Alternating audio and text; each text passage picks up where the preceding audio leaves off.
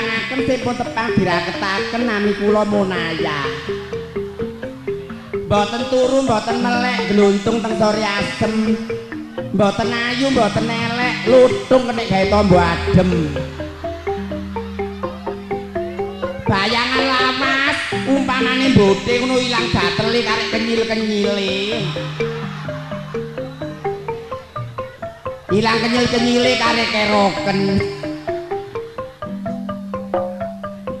Lodruk iki jenenge apa sih iki? Pokoke budaya ngono ae.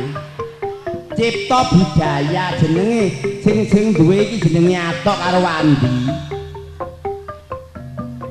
Sering emak sing ngremo papat.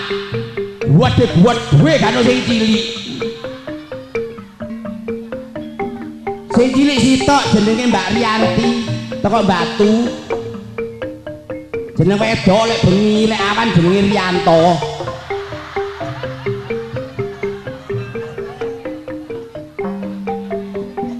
Sing nomor loro jenenge Mbak Retno.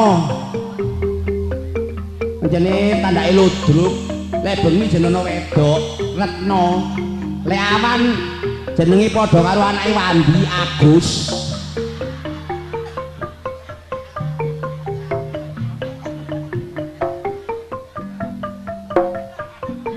Sing wedhe iku jenenge Elvia.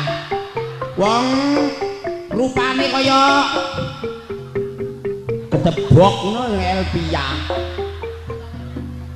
Asline iku lho jenenge Mesenu alias Taib.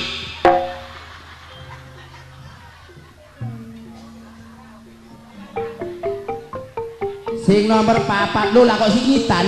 Ini jenenge Mbak Satuniasi. Tekok Lumajang. Pancene tandake ludruk lek bengi ya jenenge Mbak Satuni. Lek awan jenenge Satuwir alias Banteng.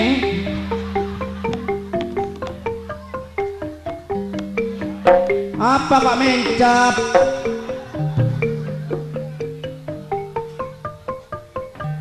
Kepingin ro lek.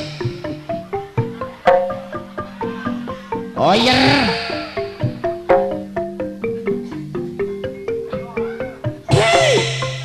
Seri.